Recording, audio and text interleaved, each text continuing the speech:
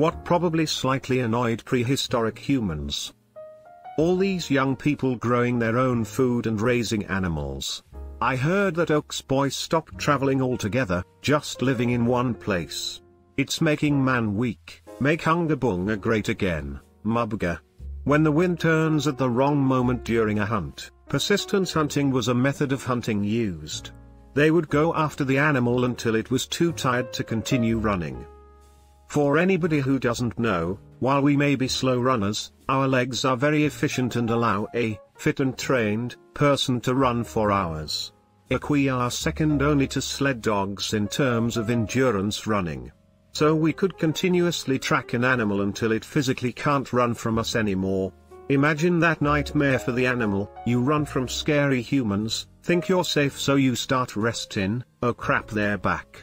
Gotta run some more, sand. It's so coarse, so rough, so irritating. It freaking gets everywhere too. Especially when you don't have pants. Time travelers taking pictures or videos and taking souvenirs. They didn't have air conditioning. So I bet their balls got stuck to their legs constantly. I thought for a second that you said hair conditioner and I was concerned for a moment like do men really use conditioner on their balls? That's my excuse when my girlfriend walks in on me I'll condition as fast as I want. Having to eat bloated ticks off their friend who fell asleep in tall grass after having 10 too many fermented crab apples. Bro, are you eating the ticks? Yeah. Dude WTF is wrong with you? How else am I supposed to get rid of them? Squish them? Yeah but, uh, fuck. Fleas and lice were a constant back then, but I can't imagine ever really getting used to them. I was going to say small, flying, biting insects. We call them midges here in Scotland, but infernal hellspawn would be a better name. They prefer the term little people you insensitive fuck. Backslash when you sneeze while making a negative handprint on a cave backslash when you come back home with a fawn you killed and your kid says Gert's daddy killed a moose yesterday. Backslash when your deer's skin is slightly too short to make a decent top. Backslash when you tried to make a swing needle out of bones and it broke. Again. Backslash when you told your father and husband to kill a moose and they killed a mammoth while you don't have time to cut all of it in the day or the place to stock it. And they are proud of them backslash when your new neighbors went picking wild plants and they even took the young sprouts or when they starts cut flint before sunrise. Greater than when your deer's skin is slightly too short to make a decent top I laughed at this. No doubt they made a hat or something out of it instead, but I can just picture some caveman holding up the too short deer skin to his chest and snarling with frustration. Manscaping with a sharp rock. I worked at a summer camp with a guy who would burn his pubes. It smelt awful, why would anyone ever do that? The cording for your favorite beach shell necklace breaking. Someone mistaking your favorite pointed stick for the fire stirrer. Your kid running off with that really nice sharp rock and losing it in the river. A fucking cave bear coming up on the deer you just downed.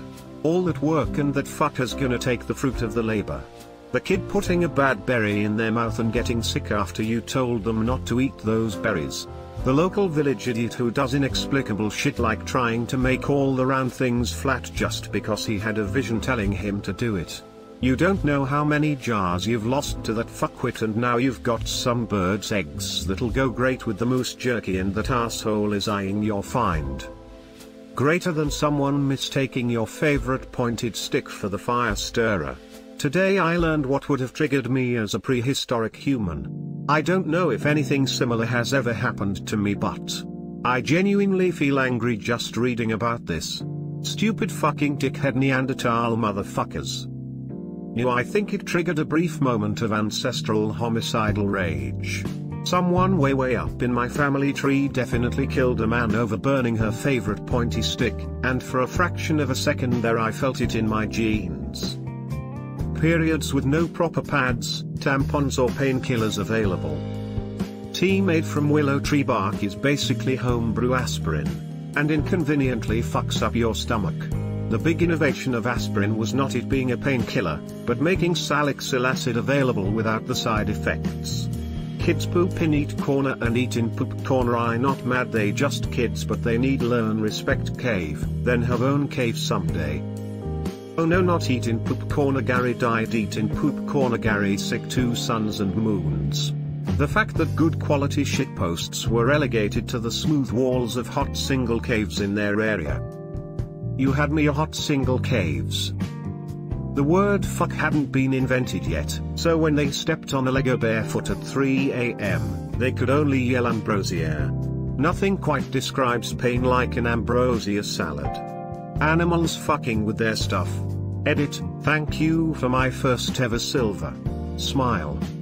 A week ago I read an article about how people who work from home because of COVID are terrorized by their pets while working, so this is not specific to prehistory. My housemate's cat literally knocks on my door until I let her in. Then she does one lap of my room and fucks off. All those damn stone tablets they keep finding everywhere advertising someone wants to talk to them about their extended warranties. When the waitress at Bronto Burgers tips your car over by putting those fucking huge ribs on the side of it. Having to poop outside the cave when it was raining. People pooped in pots and kept them under their beds until the 19th century. I'm not sure prehistoric humans had raised beds. Accidentally wiping with poison ivy. Definitely more than a slight annoyance. When the girl you have a crush on goes for the literal Neanderthal till Neanderthals were ancient chats. I'm waiting for virgin Homo sapiens versus Chad Neanderthal meme. Biting the inside of their mouth while chewing. I'm sure this is still a common occurrence in rave clubs today. Rave caves, cool face. Standing in mammoth shit. Fucking mammoth owners. If you're going to own one, you're responsible for cleaning up after it accidentally chipping a bit too hard when you're finishing up a spearhead and ruining it when you leave Grog to watch the fire and he falls asleep and lets it go out, and you have to start it all over again being called a Neanderthal fucker when we all know there is nothing wrong with that actually. Greater than being called a Neanderthal fucker when we all know there is nothing wrong with that actually fun fact, all human beings who have roots outside of sub-Saharan Africa have some Neanderthal DNA. That doesn't make them Neanderthal fuckers though. Just means somewhere along the line they were descended from a Neanderthal fucker. Geez your grandfather fucks one Neanderthal and your family can't live it down for 200,000 years. When you wake up in the morning and you roll out of your pile of leaves and hay and your feet touch the freezing cold rock cave floor. First world problems. You look at this guy with leaves and hay, must be nice. More than a slight annoyance, what the heck did the women do when they got a yeast infection? Those are horrific without prescription diflucan. You can't even walk if you have a bad one. They probably knew some herbal remedies, or at least some general soothing plant paste. Ötzi the Iceman who died in the Alps 5000 years ago carried herbs that have a chemical effective against intestinal parasites. He had a case of worms that he was trying to treat, but he was killed by an arrow in the back first, so we'll never find out if it was going to work for him. The medicine found on him was also found in his intestines, so there is a good chance it did. Not to mention he possible had Lyme disease, arthritis, tooth decay, and was lactose intolerant, to name a few things wrong with him. There was a good chance he was living with some type of pain before he died, and thus knew of herbal remedies to relieve said pain. And that is without going into the tattoos he had across the affected joints, which seemed to be a more alternative method of healing. Going to your favorite fruit tree or berry bush and finding someone else has already picked it clean, legit. Same with a mushroom patch. Don't you dare picking on my bush. Mosquitoes. Mosquitoes are the primary vector for malaria, a disease which by some estimates may have killed something like half of all humans who ever lived. So they're more than a slight nuisance. But without understanding why they were getting sick and dying, you're right in that prehistoric humans probably didn't realize how annoyed they really should have been by mosquitoes. Plus they were itchy as shit. Stepping on stone Legos, well nobody likes a stubbed toe.